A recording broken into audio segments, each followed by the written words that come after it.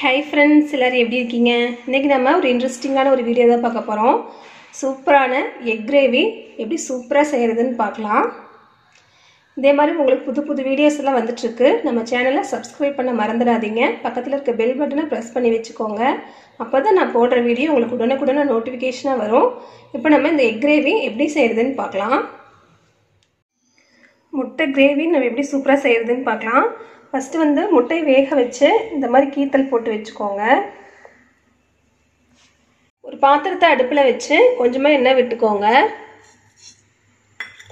எண்ணெய் காயட்டும். இப்போ இந்த எண்ணெயிலேயே கொஞ்சமாக மிளகாத்தூள் போட்டுக்கலாம். சிம்மில் வச்சுக்கோங்க. இல்லாட்டி வந்து மசால் பொருட்களாக கரிஞ்சிரும். கொஞ்சமாக மஞ்சத்தூள். கொஞ்சமாக உப்பு சேர்த்திக்கலாம். இப்போ வந்து இதில் கலந்து விட்டுட்டு நம்ம முட்டை முட்டை வந்து இதில் வறுத்து எடுத்துக்கலாம். இப்போ இதில் முட்டையை சேர்த்திக்கலாம். நம்ம வேக வச்சு தொளிர்ச்சி வச்சுருக்க முட்டையை இதில் வந்து சேர்த்திக்கலாம்.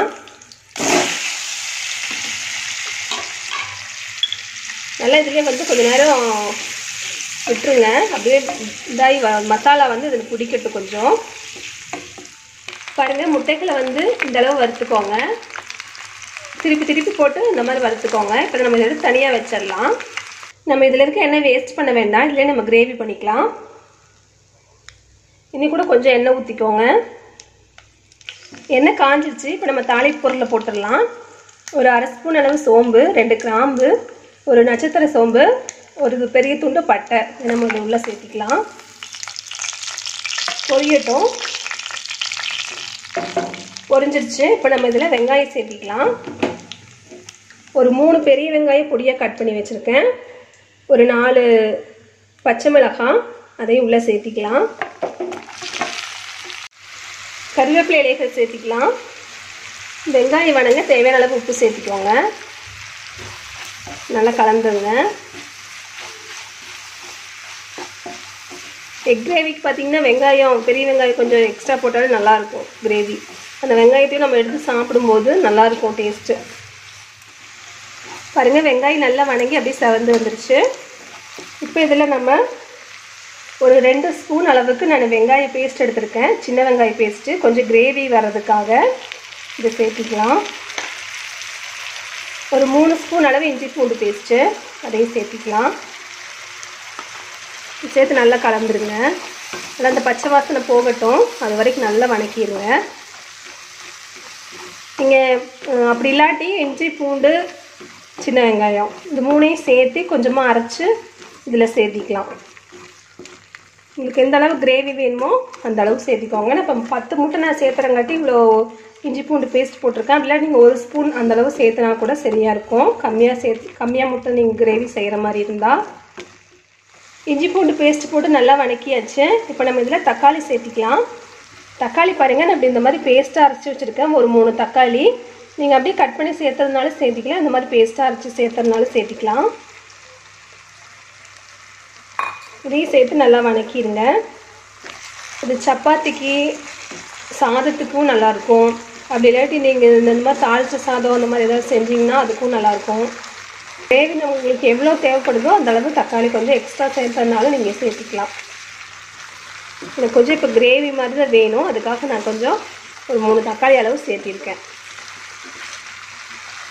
இந்த கிரேவி உங்களுக்கு கம்மியாக வேணும் ட்ரையாக வேணும்னா நீங்கள் வந்து இந்த மாதிரி மசால் பொருட்கள் கொஞ்சம் கம்மியாக சேர்த்தி கொஞ்சம் ட்ரையாக வந்து நீங்கள் பிரட்டிக்கலாம். இருங்க. பாருங்க தக்காளி சேர்த்து நல்லா வணக்கியாச்சு. இப்போ நம்ம மசால் பொருட்களை சேர்த்துக்கலாம். ஒரு ஒன்றரை ஸ்பூன் அளவு மிளகாத்தூள் ரெண்டு ஸ்பூன் மல்லித்தூள் அரை ஸ்பூன் மஞ்சத்தூள் ஒன்றரை ஸ்பூன் கறி மசால் தூள் நீங்கள் சிக்கன் பொடி அப்படி இல்லாட்டி கரம் மசாலா அந்த மாதிரி இருந்தாலும் சேர்த்திக்கலாம். இப்போ நம்ம இதெல்லாம் உள்ளே சேர்த்திக்கலாம்.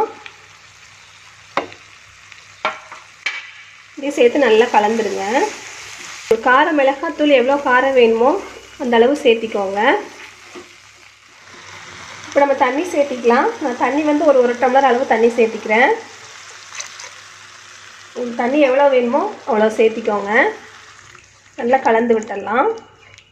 ஒரு ரெண்டு கொதி வரட்டும். கொதி வந்தோடனே நம்ம வேக வச்ச அந்த முட்டையை வறுத்து வச்ச முட்டையை வந்து இதில் போட்டுக்கலாம். கிரேவி எந்த அளவுக்கு வேணுமோ அந்த அளவு தண்ணி சேர்த்திக்கோங்க. பாருங்கள் நல்லா கொதி வந்துருச்சு. இப்போ நம்ம முட்டையை சேர்த்திக்கலாம். நம்ம வறுத்து வச்சுருக்க முட்டையை வந்து இதில் சேர்த்திடலாம். கலந்து விட்டுருங்க. இந்த தண்ணியோட அளவு வந்து கம்மியாக வேணும்னா கம்மியாக சேர்த்திக்கோங்க. இதை நம்ம ஒரு மூடி போட்டு வச்சிடலாம். ஒரு அஞ்சுலேருந்து ஒரு ஏழு நிமிஷம் வரைக்கும் இருக்கட்டும். கொஞ்ச நேரம் கழிச்சு பார்க்கலாம். பாருங்கள் ஒரு ஏழு நிமிஷமாக நல்லா முட்டை கிரேவி வந்து நல்லா கொதிச்சிருச்சு. இப்போ நம்ம ஸ்டவ் ஆஃப் பண்ணிடலாம். எண்ணெயெல்லாம் எவ்வளோ அழகாக பிரிஞ்சு எவ்வளோ சூப்பராக வந்துருக்கு பாருங்கள் இப்போ மேலே வந்து கொஞ்சமாக கொத்தமல்லி தலை தூவிக்கலாம்.